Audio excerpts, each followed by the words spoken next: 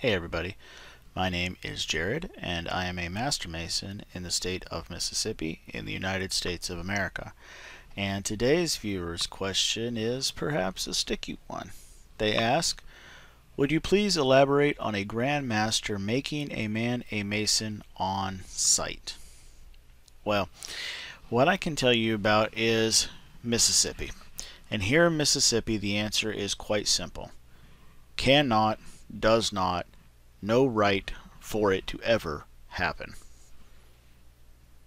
Done. well, that would make a very boring, video, so let's talk a little bit more about it. Uh, there is specifically a mention in our bylaws, in the Williams Digest laws here in Mississippi, that covers that, so let's talk about it. Here in the section that specifically points out uh, decisions of the Grand Master that are subject to approval of the Grand Lodge. So in other words, the check and balances of the Lodge here. If we scroll down and look at some of the digest and judicial decisions, we will find out that number 17 says, the right of the Grand Master to make masons at sight does not exist by virtue of any landmark or ancient regulations and is not conferred by the Constitution or laws of this Grand Lodge. Now, take that for what it is. The last few words there of this Grand Lodge. There are other Grand Lodges that do permit this activity. And what it simply is, as best as I understand it, I was initiated passed and raised here in the state of Mississippi. So these are the laws that I know. Uh, if I understand the concept of making a mason at sight, uh, that is the Grand Master's ability to simply look at somebody and say, he is a Master Mason. And from that moment on, uh, that brother doesn't have to go through any of the ceremonies, doesn't have to learn any of the proficiencies, but immediately gets all of the rights and privileges of being a Master Mason in that jurisdiction. Something I would be interested in learning about if you have that, if the Grand Master has that authority in your jurisdiction, what does that mean for the man who was right then made a Mason? Uh, here in Mississippi, um, you can be a Master Mason and not be affiliated with a lodge, but you are highly encouraged to be a member of a lodge. Um, so I would wonder that if you are made a Master Mason by the Grand Master, would you not still have to turn around and petition a lodge for membership? Uh, and I wonder how that goes. Uh, so if you're uh, in one of those jurisdictions, if you can shed any light onto that subject, uh, leave it down in the comments below. So uh, this specifically says uh, that that the virtue that, that it does not exist in any landmark. Um, so here is where some uh, possible contention, if you like, or disagreement uh, comes into play. Uh, in the state of Mississippi, in our bylaws, there are enumerated 21 um, landmarks that cannot be changed or removed ever from the bylaws. That's it, 21 of them.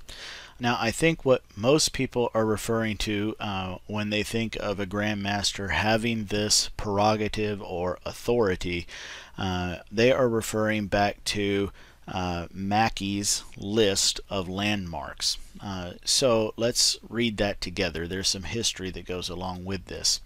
Uh, on this website, it reads uh, Mackey's list of landmarks were written in October 1858 by Albert G. Mackey of South Carolina in the American Quarterly Review of Freemasonry, Volume 2, page 230.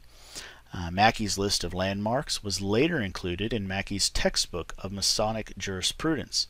Many other Masonic writers have disagreed with Mackey about this subject, and it goes on from there. Uh, so Mackey had a list here uh, which you can peruse of 25 different landmarks of Freemasonry. And uh, right up here we have number 8 on his list is the prerogative of the Grand Master to make Masons at sight. Uh, and so since the writing of that, um, this has been a thing. Now let's first remember here that this was one man's writings on what he considered to be the landmarks. And sure enough, as time passed, we ended up having uh, several different states uh, that have adopted this.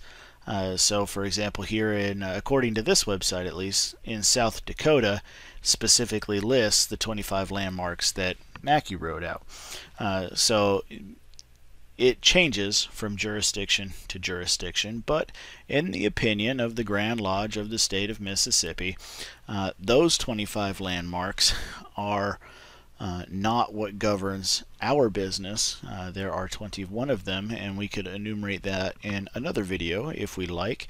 Uh, but for the sake of this discussion, it is simply to be said that in, in Mississippi, uh, there is no method, uh, no path in which a grandmaster or any other mason in the state uh, can make somebody a mason at sight. So that's the way that goes. Uh, if you have any other question about this or any other uh, Freemasonic topic, then please uh, leave it down in the uh, comments below and I will do my best to research and answer it for you. Thank you so much for watching. We'll see you next time.